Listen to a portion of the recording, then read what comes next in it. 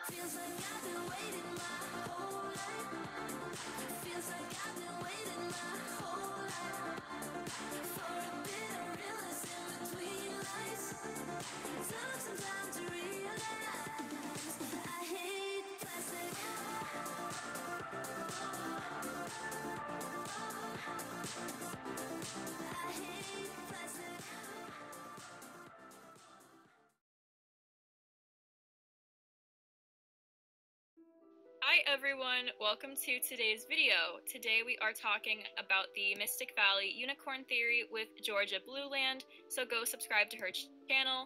But yeah, welcome Georgia, how are you? I'm good. How are you?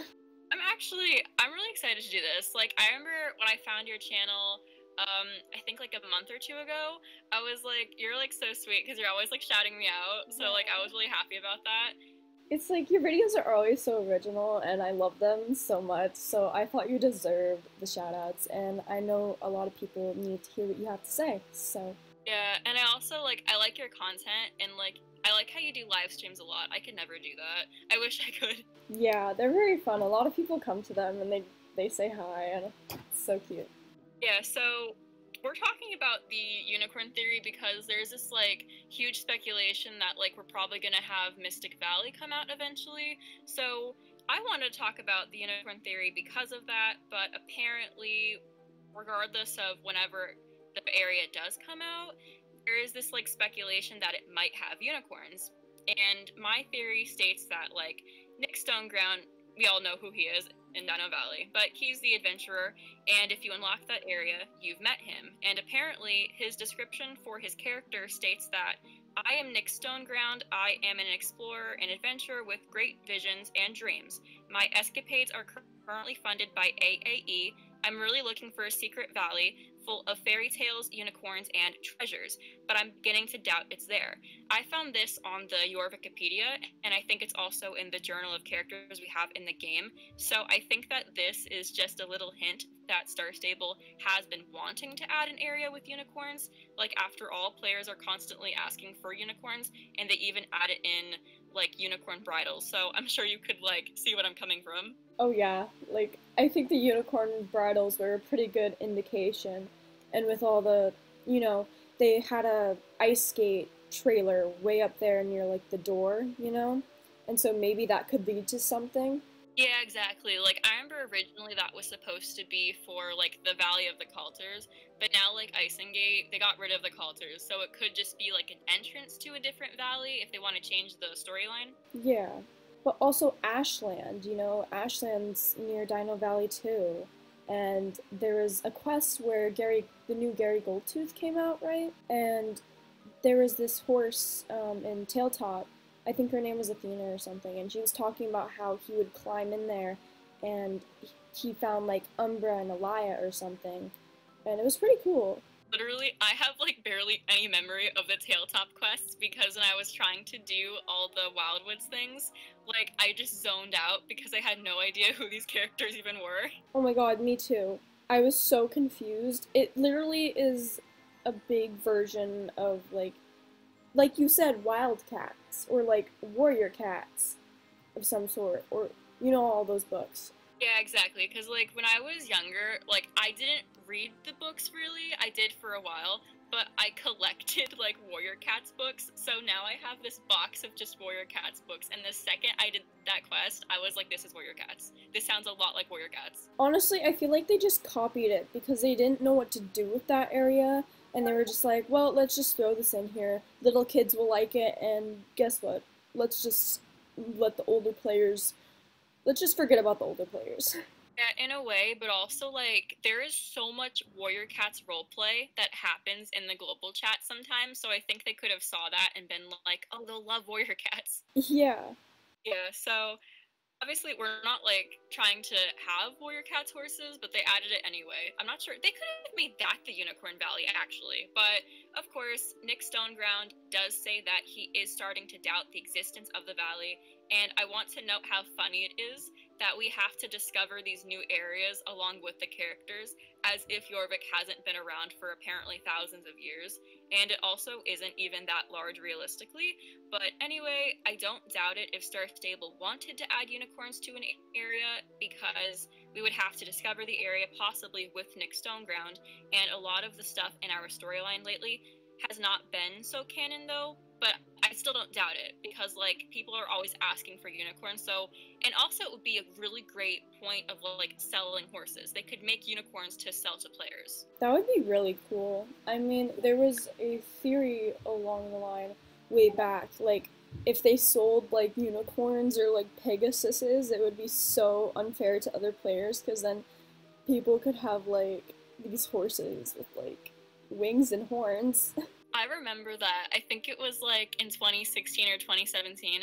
I remember somebody was trying to say like, "Oh, we're gonna have unicorns in game or a Pegasus," and then I remember somebody was trying to debate it, and they were like, "No, because if we have a Pegasus, you guys could win the championships better than I can." And I was like, "Really? Oh my god." Maybe they could make it so you can't enter a championship with them. You know, like Yeah, exactly. But I overall like do want to have unicorns in the game personally, but I'm although I'm like excited for that, I'm like also really worried at the same time because I'm worried that Star Stable will almost like ruin their chance to perfectly capture unicorns in their original mythology because if you look at old artworks of unicorns, they aren't really horses. They don't have horse hooves. They have cloven feet like deer or goats do, and they also look a lot like goats in old ancient art and they also don't really have bodies of horses. And they're also about three to four feet tall, sometimes five feet. They do have the unicorn's horn, of course, but a lot of them don't have a horse's tail. I'd say that it looks more like a mix of a deer, goat, and donkey altogether. And sometimes the unicorns in old artwork looks a little like a lion as well. So that's why I'm worried because unicorns do look really interesting. It's just that they aren't horses. So I'm really worried that Star Stable will make a random white horse and then just give a horn to it and then say it's a unicorn, even though that's not really what a unicorn is. yeah, like I'm thinking that if Star Stable does decide to put unicorn, they're gonna do a half, like kind of worth job on it and just literally take like a white horse for example or like another model of a horse like let's say the white andalusian and then just stick a horn on top of it Yeah, they could totally do that. I could also see them doing that because didn't they? I think they did that recently for something. I could be wrong, but I think what they did for the dragon horses is that some of the like not the textures, but parts of the model they actually took from the seahorses. yeah like the fins on their mane and like the back the tail Yeah, and I don't have anything wrong with like um, reusing certain parts, but like a lot of people are actually disappointed with the dragon horse. Now, when I saw the dragon horse, I was like, "Wow, this looks great," but a lot of people expected better. Like I remember Rattle actually made a video about the dragon horses, and even she was saying like dragons in mythology. There is a dragon horse in mythology, and they could have just made that one, but they didn't. Yeah. And also, I feel like they don't really feel like dragons. I mean, they do, but it's like they it feels like a triceratops kind of dinosaur dragon looking thing. Never thought of that, but that is like such a good point. Honestly though, like I have both of them and they're awesome. They're absolutely cool looking. But if they added like a few little features of like maybe some wings that go on the side of it, it would look so much more like a dragon instead of a triceratops that has um, scales. Yeah, that's another thing too. Like dragons have wings and like they don't the ones in the game don't have wings. And like I could be wrong, but I've never seen like art of a dragon with no wings, you know? Yeah. Also, um Star Stable has that Christmas deer horse, and like I said before, like unicorns don't have horse feet. They have cloven hooves, like a deer or a goat would. And a magical Christmas horse, the Andalusian model, when you put it onto like the magic mode, so it has the deer spots. If you look at the hooves, it has it has like um, deer hooves, so they could add that feature. Exactly, and they did a really good job with that feature because I have that horse and I love that horse when it came out or when I got it. Like it looks really good, you know, and they could just recreate that for another horse if they had to. Yeah, like if they wanted to make a unicorn, they could use the cloven hooves, and then they could give it like the classic unicorn tail horn and also the other features as well, and they can make it look really original. I'm just like so scared they'll make a random white horse and then put a horn on it because like I know that'll sell, but it's not accurate. Yeah. And it's like we want the game to be as realistic as possible, you know? We want the game to be as realistic as possible. I don't know if Star Stable wants that. Yeah, probably not. They probably just Yeah. want to attract as many people as they can.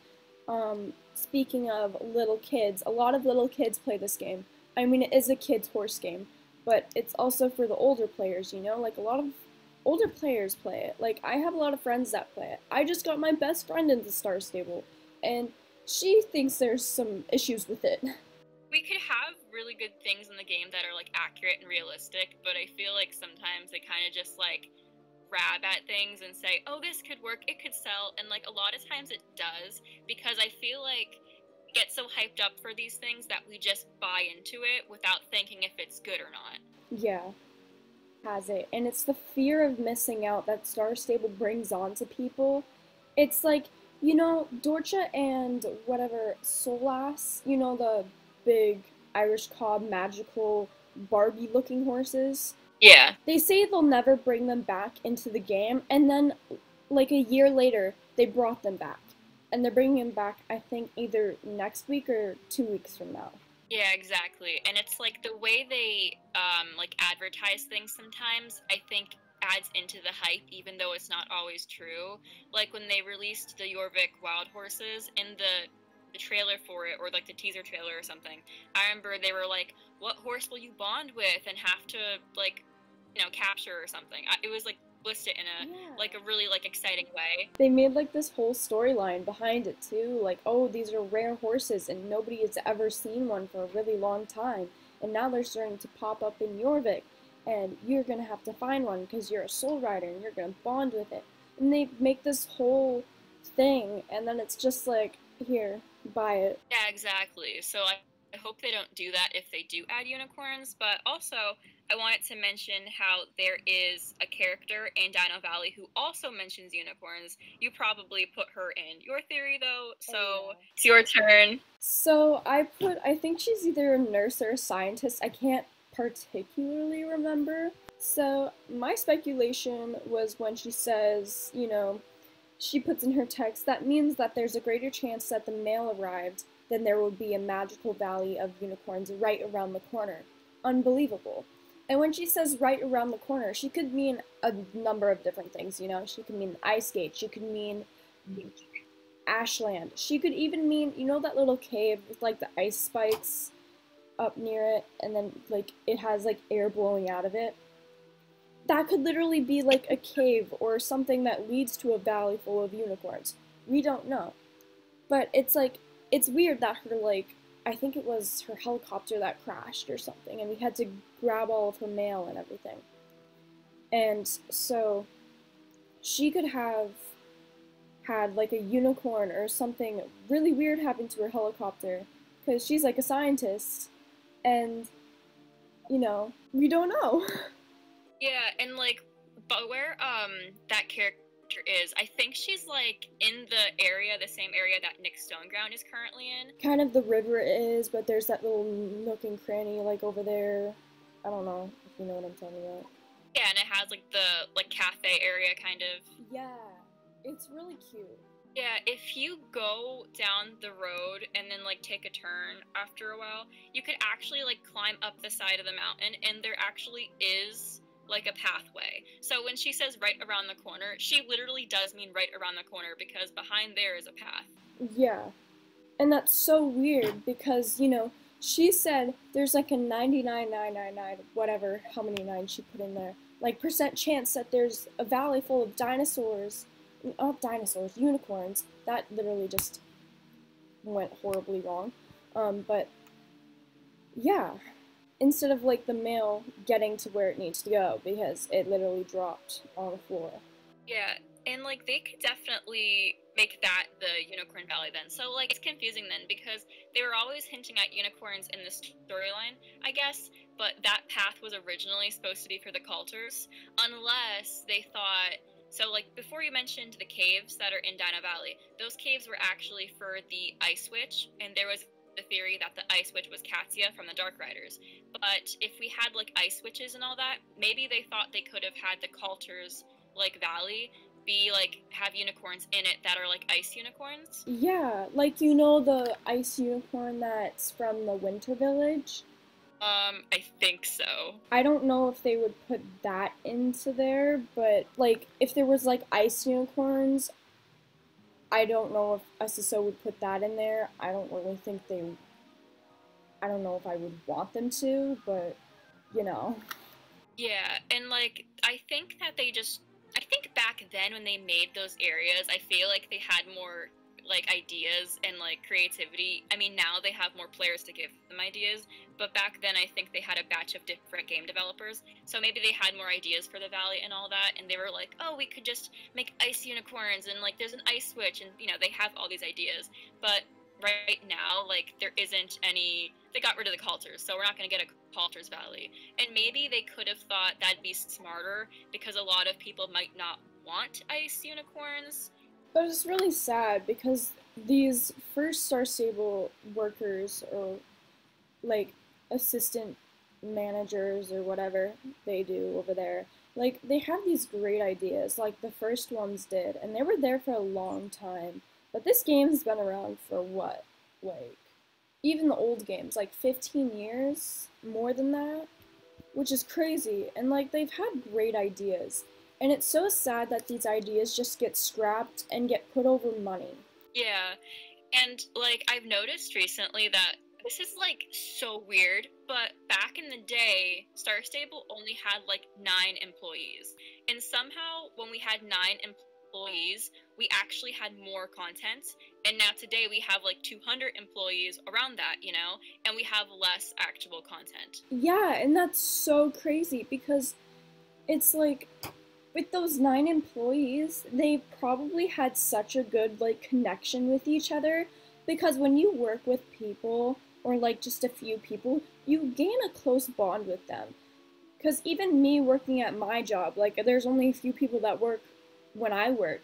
And we've like gotten so close and like we've had great ideas and stuff.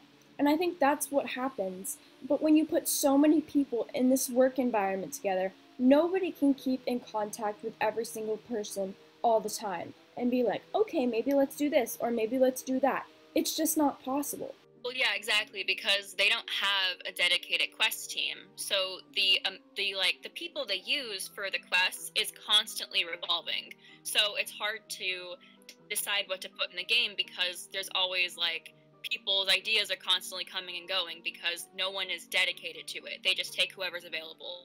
Yeah, exactly. It's like a call in from a hospital. You know how they like call in somebody like, "Hey, can you come in and do this?" It's like they're doing that with Star Stable workers. They're like, hey, can you come in and make this? Make it as good as you can, but when you're done, just throw it in the game.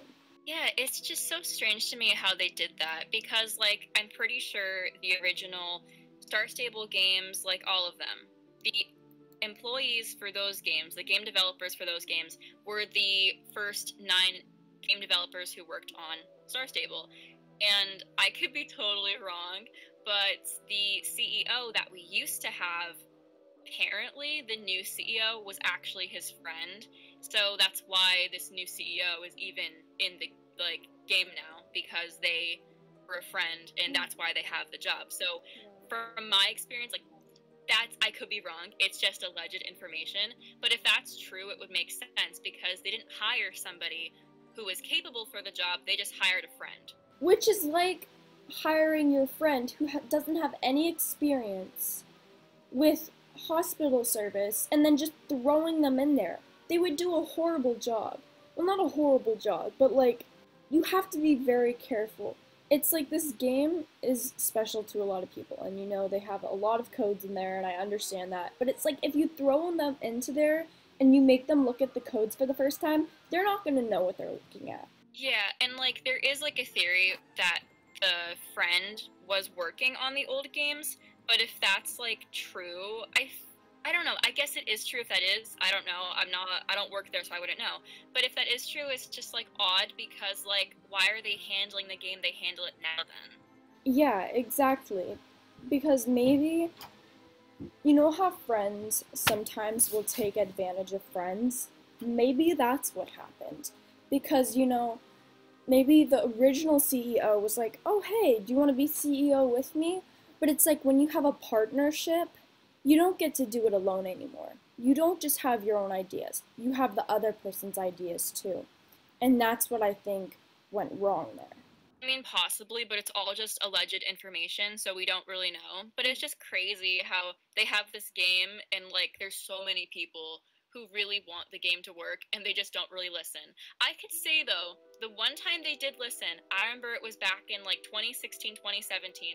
I emailed them and I said, Star Stable, why don't you add an area that has deer in it that walk around? I want to see deer walking around.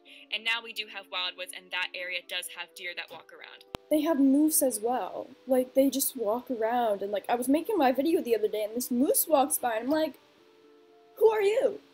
I'm like, hey, buddy. Like, I didn't even. I forgot, totally forgot they have those walking around in the game. It scared the crap out of me, but it was so funny. Oh my god, one time when I went to that area when it first came out, I was playing with a friend and literally I saw the moose and I screamed moose and they like jumped out of their seat. That's great. I love that. I was like so happy. I was like, oh my god, a moose. I mean, it's not like something of Star Stables too. I mean, it took them a long time to add like birds. You know, like when I first joined the game in March 2020, they didn't have like random birds flying around. Now they do. I have no idea when the birds got added, but when I mm. first started playing the game, we didn't have birds flying around at all. I don't either, but they have them now. Like I see them every once in a while when I'm paying attention. Yeah, I think the birds are like funny though because there will be times where like if you stand by like a cliff and watch them, they'll fly directly off into the cliff, but then they'll go straight up into the sky. Really? I've never seen that before. It's like so funny. They have like no coordination at all. So, with the unicorn theory though, do you have any other like speculations or any other like theories to mention regarding it? Well, maybe. You know that like where you go like the dead forest is over there, you know? Like maybe if they made like another pathway like to up or something, like up further, maybe there would be like somewhere where there would be unicorns. There really isn't that much info, but with how much people ask for unicorns, like I'd be confused if they didn't add them to the game. But there is like this theory that there's like an area by Dino Valley called Everdale. I don't know exactly where it is. I I think that Mystic Valley should be just one giant area. I don't know why they'd make like a an area next to it. Like I don't like when they break things up. Like I'd rather just be like here's an area here here take it explore it you know? Like i don't like when they break it up because when they came out with wildwoods they released mistfall and wildwoods in like three parts i'm pretty sure. And like it's so annoying in my opinion because you expect more because you wait for so long but there is this like speculation that their like coding is really broken. And like it's not even speculation at this point because like their code is so broken in my opinion. But also like i remember back in the day when Mistfall came out, I could be totally wrong, but I remember they had an article about Mistfall come out a few weeks later after its release, and they even said, like, we have to update the area in parts so that we don't overload the system. And when you said something like that in the podcast, like you guys were talking about how like the system like they're releasing updates in smaller and smaller quantities. Like you said, with the Appaloosas and the rope halters, they almost released those separately, and people were like, no, don't do that. But then recently, um, they released, you know, when Marley's Farm came out, they released that in three different updates. I was about to go crazy over these updates with potatoes. I literally was having, not having it anymore. I was like, I'm done with potatoes for like the rest of my life. But it's like maybe the system is getting overloaded because every time they keep releasing updates, something's broken. Like the grass in the arena, I noticed that. Or like now, the sheep are completely like black silhouette like 3D figures for me. Yeah, exactly. Like I was like I'm really annoyed at that because I was like in the the Starshine Ranch and I was doing like the races and then the sheep just went totally black and I was like it's not even like black like it's a void it's literally the sheep look like an empty void Yeah, exactly. And it's scary because, like, I was going to do my animals one day and I see this black thing. I think it's like a foal. And then I'm like, no, it's a sheep. And I have to herd it all the way back. yeah and plus they'll spawn like so far away from the ranch so I have to like slowly get them closer to that character Mary. And like on top of that like if you walk too slow then like that's a problem. But if you get your horse to trot or canter that's somehow too fast as well. So like you can't it's very tricky sometimes i think. I've done it like so many times that I'm just used to it now because I train my horses a lot. Um, I just, I don't know why, I just do it because I want to, I guess. I don't know, I guess it's satisfying having all level 15 horses, even though I have 50 of them that are not trained. i'll find the donkey and the chicken for the herding quest and that's it like if there's a sheep close by i might do it or if there's a cow maybe that one too but usually i run in look for donkeys and chickens and if i can't find them i just leave because like those ones are the easiest ones to do I usually do everything because in Starshine alone, you can get 2000 XP a day.